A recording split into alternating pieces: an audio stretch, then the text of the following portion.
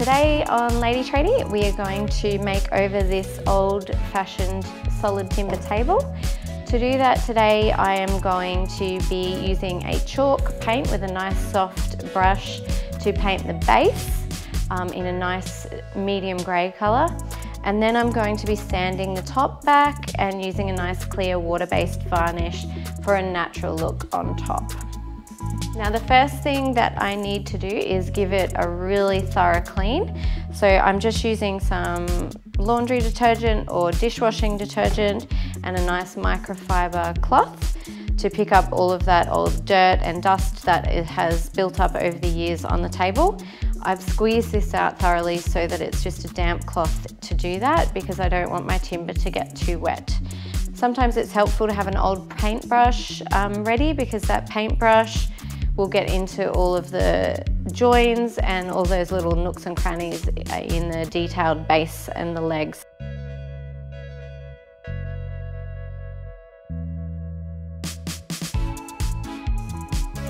Then it's as easy as painting the base with my chalk paint and then sanding back and re-varnishing my surface. Now while I was washing, I noticed that there's some rub marks and scuff marks, but also where a dog has chewed on the feet of the table. So I'm gonna give it a really light sand. I've got a 120 grit roll of sandpaper that I always just have on hand. You can just fold it if you like. I'm just gonna use a little sanding pad. Sometimes it makes it a bit easier to grip. And all I'm gonna do is just lightly sand where there's chew marks just to smooth that surface so there aren't gouges because if there's gouges in it, even when you paint over the top, you're gonna see the gouges. Perfect. All right, so unless you want paint on your floor, it's probably important to lay down a drop sheet or some butcher's paper or newspaper just to protect your floor from spillage and drips. Just fucking spilled it everywhere. And that's why you need paper down. Okay, now with chalk paint, um, there's a lot of info online about how to use it and different techniques that you can get. You can have that weathered effect or streaky or smooth. There's lots of different ways. A lot of people use it as a base coat and then apply a secondary layer as a top coat um, using a nice smooth brush or a foam brush. Sometimes people even use a roller. I'm just using a nice soft edged brush today um, and I just love how it can more easily get into grooves and things. I use these for painting pretty much everything that I paint. Now I'm not going for that weathered look today. I don't particularly like it. I'm going to go for a smooth finish. I'm going to play it by ear though. So I'm doing a base coat now. I'll let that thoroughly dry and then I'll do a secondary coat. A lot of people online recommend in between the coats to lightly hand sand it. That way if there's any streaks coming through, you can sand them down. Then you do your second layer and you don't have the two layers of streaks. So when you're using a brush, it does have brush strokes. Um, and if you want to avoid them, that's when you will sand in between. So we're going to go for a smoother effect by giving that a go today.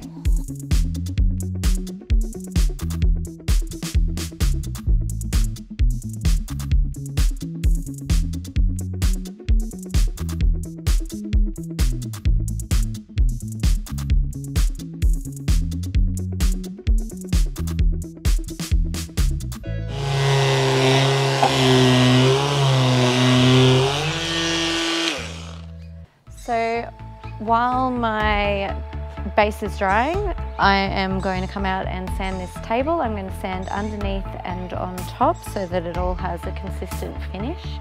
Um, to do that, I am using a small Ryobi hand sander that is battery powered, so the battery pops on underneath. Then I'm not tripping over cords and things like I've done previously. Um, you want to get yourself a coarse sanding pad, so usually you can buy these separately. I would recommend getting a 60 grit or 120.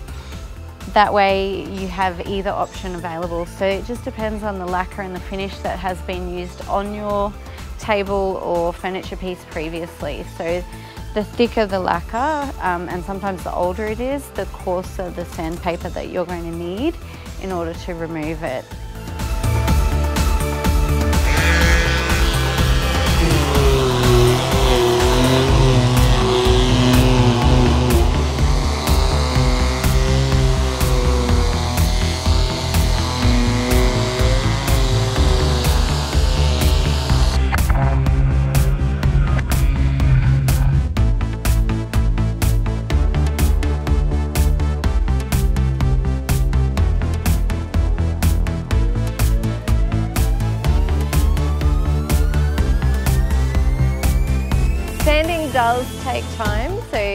Don't expect to just run it over once and it be perfect. You have to go over it multiple times. You have to apply pressure.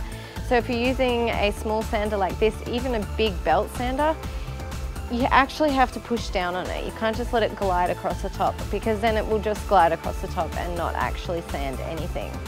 So um, you can see in the video I am just doing small movements up and down and around just to try and get through that lacquer. As soon as I'm through it, it's much easier. I can just tidy up the timber underneath, make sure it's not scratched, but it's just getting through that lacquer that takes time. So don't give up.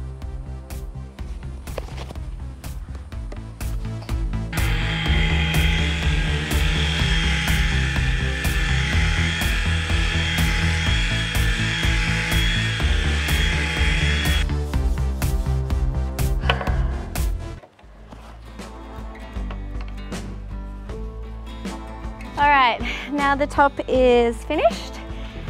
I'll talk about some tips when doing furniture like this. So the first one is when you are sanding, no matter what type of sander you use, um, you need to go with the grain of the timber.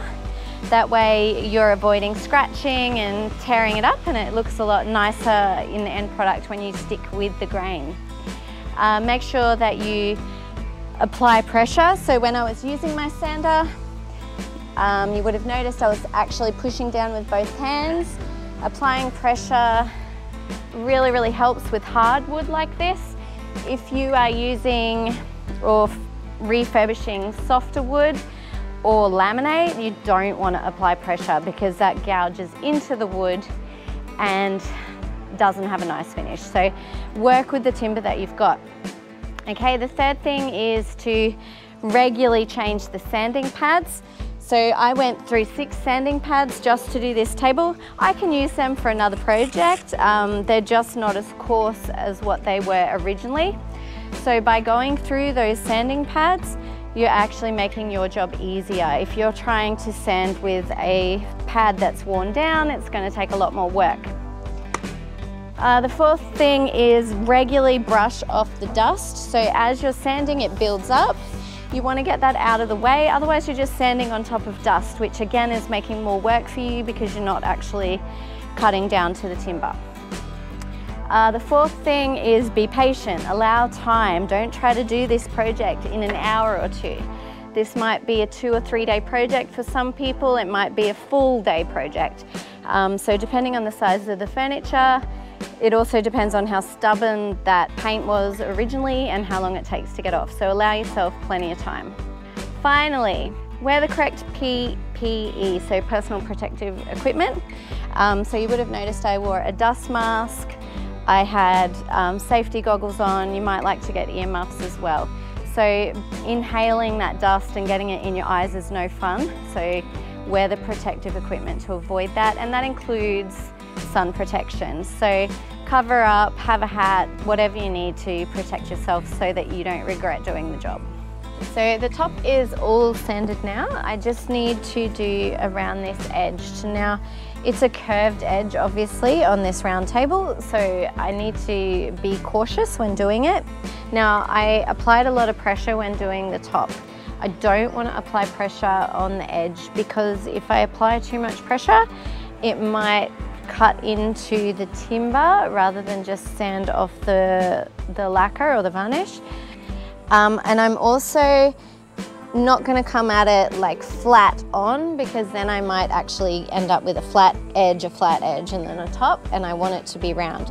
So the technique that I'm using here is to gently glide back and forth across like that. Now I can put it flat on down on the lower edge because that is flat, but it's this section here that I really want to just keep that curve the way it is. So I'm coming at it diagonally, moving across in that motion all the way around. Now it may leave, as you can see, I've done a little bit here. It may not get all the way through. I don't want to keep going over that because that's when I will start to get flat spots and it will look terrible. So it might mean you need to come and do a little bit by hand. But as you can see, that took no time at all. Um, so the next thing that I need to do is I'm going to reassemble the table in the garage. So I'm going to put the tabletop back on the base and the legs, which is complete. And then I can use my clear varnish and give it two or three coats to protect and seal the top of the table.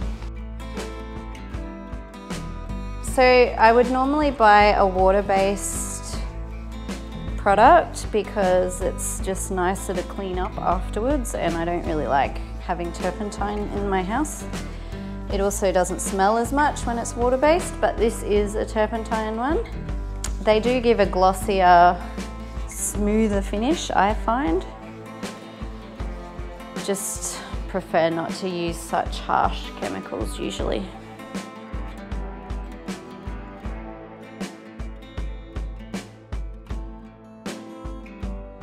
So Terps products work just as well. They stink a bit more, um, but they do leave a nice smooth finish. It is a little bit thicker so and stickier, so you have to be a bit more mindful of time, but it'll be worth it in the end.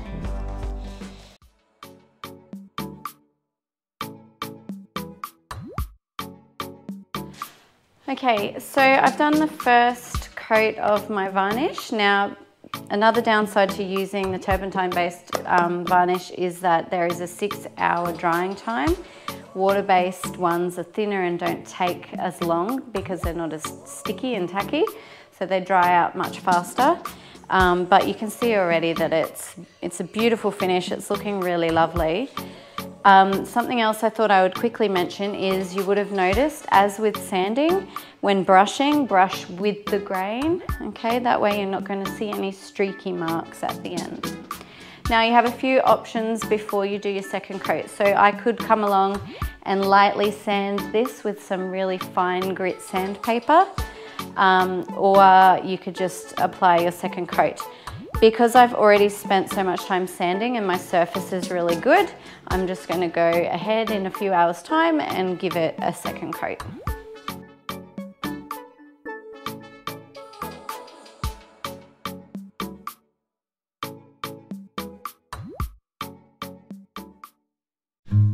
Here is the final product. Um, it's got a beautiful satin finish. Looks much better than the old orange table that it was prior um, with a nice new coat of varnish on top just to freshen it up. The legs are much more modern now, even if it is an antique style. That grey colour rather than the uh, varnished timber just looks a lot more modern um, and it is much more suitable for a modern home. So you can do this yourself. It's really easy to pick up old furniture like this off Marketplace or Gumtree. There's always a furniture item around for you to renovate, rejuvenate or repair. So if you want to see more of these types of projects or some other do-it-yourself home renos and repairs, um, don't forget to subscribe to my channel and click the little bell and it will notify you every time that I post a new video.